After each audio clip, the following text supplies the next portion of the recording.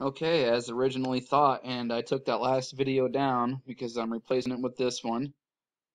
Smashed records this year. We broke 4,000 up from, what was last year?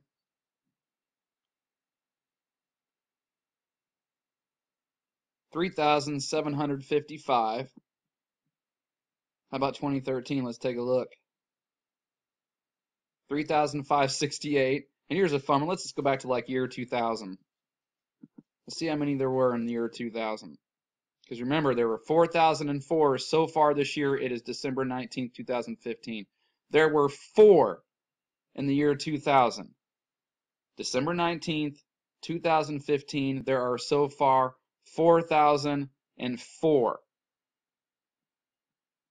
I had someone uh, drop a comment. Really good stuff, man compelling argument for sure. Very convincing, if you ask me, because I don't believe in outer space and asteroids and all this kind of stuff. Says it uh, could possibly and probably is methane, and that's pretty. That's a pretty compelling argument. Methane's rising, it's freezing, and it's coming back down. And it burns because, especially when you have headlines like this, the worst gas leak in California's history isn't close to being fixed. An environmental crisis unfolds in a Los Angeles suburb.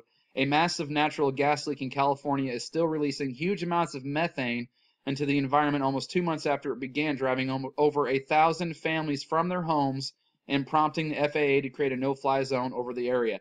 And there have been, uh, if I'm not mistaken, there have been record levels of methane released from the earth over the last several years. And what's interesting is you also have these weird booms, right? These loud booms being heard all over the country. Could be under underground explosions and making uh, more room and building more bunkers. Could be, but, in, but one of the things that was reported before the large earthquake of the Madrid on the Madrid line all those years ago were loud cannon-style booms.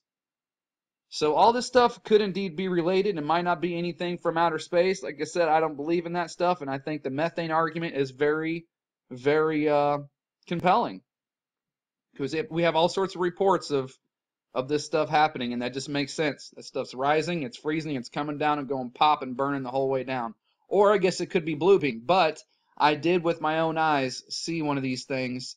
Um, I think it was two years ago. I even did a video on it, and I wasn't full of crap because I came home and told my wife it, it was on my, I was on my way to work. I got off at like uh, I think it was like eight o'clock that night or something like that. And by the time I came home and told her that I saw it on the way to work, she said, "Yeah, I heard it was on the news and everything. It was reported." So she even so she knows I wasn't full of crap because I told her before she even knew, and it was reported on the news. And I saw it with my own eyes, but you know I wasn't there to to to, to catch it or to, you know I, I was in a car, but their blue beam's pretty convincing if that was blue beam. But it could have been, man. I mean, it could have been a trick, could have been a hologram, all for all I know. But it looked pretty cussing real. So record-breaking fireballs again this year. We'll see what next year holds. And um, I don't know, maybe it's methane, or maybe it's the return of Planet X. Ooh. I don't know, man. I don't know about that thing either. it's, too, it's stupid. This place is dumb. You know what I mean? Like you can't can't figure nothing out. A bunch of ridiculousness. Who knows? Maybe that thing's just one big hologram too. I don't know. I give up. Not really though. so hey, I always say it because I got to, because I really do appreciate everybody out there. So thank you to my subscribers.